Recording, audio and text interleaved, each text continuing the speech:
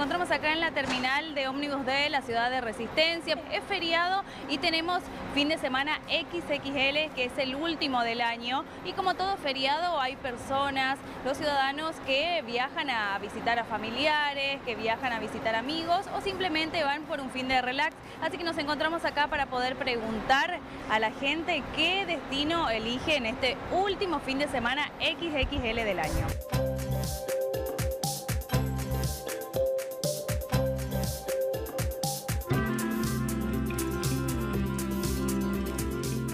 Ve que está movida la terminal hoy por el fin de semana largo? Sí, sí, bastante movido. Transcurrido. En el pueblo no, en el pueblo no, pero acá sí. Bueno, acá sí, porque muchos seguramente van a disfrutar de lo que es el fin de semana largo. Ustedes ya están volviendo a la casa. Sí, sí, ya estamos volviendo a Charata. Es muy lindo acá, Resistencia. No, la verdad que nos sorprendió, nunca, nunca conocíamos, pero muy bueno. ¿Conocía la ciudad de Resistencia? No, sí, más antes, cuando éramos chicos, con más cuando eh, fuimos a la revisación médica, sabía con antes se hacía la- el control médico. Después ya nunca más, pero ahora me sorprendí, muy bueno todo.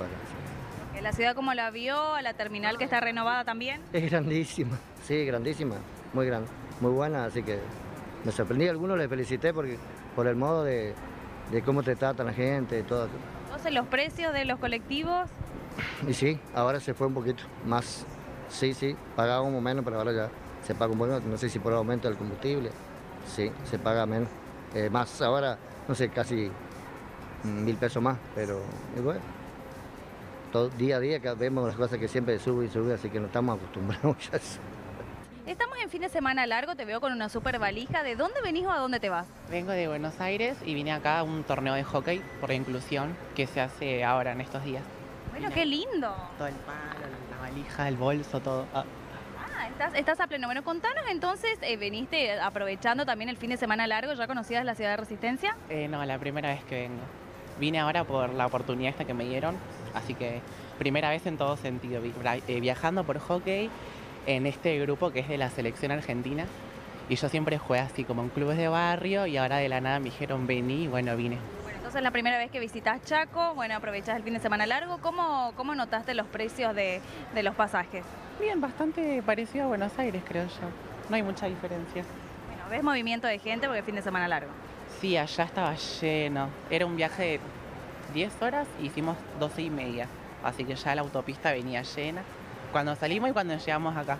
Fin de semana largo, ¿usted se está yendo de viaje o viene de algún lugar? Me estoy yendo a mi domicilio, yo soy de Las Breñas, soy del interior. ¿Cómo ve el movimiento de la terminal? Muchísima gente, muchísima gente y el calor no se aguanta.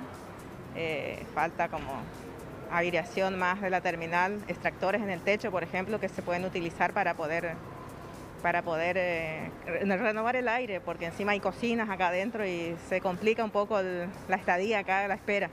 Así que, pero bien, bien, mucho movimiento de gente. Ya nosotros conseguimos pasajes ya antes de ayer porque ya hoy no se consigue. ¿Y ¿Cómo ve los precios? Eh, yo viajé en colectivo hace 15 días y me salió 1500 y ahora me salió 2100. Es decir, que aumentó para el fin de semana largo. Exactamente, sí, sí. Así que bueno, creo que va al ritmo de lo que estamos viviendo todos, no es solamente exclusivo de ello, eh, eh, es lo que hay. Bueno, algunos podemos a grandes penas y otros no podrán y bueno, la ley del- de la vida. Bueno, muchas gracias, que tenga buen viaje y disfrute el fin de semana largo. ¿eh? Muchísimas gracias a ustedes también y que ganen la selección.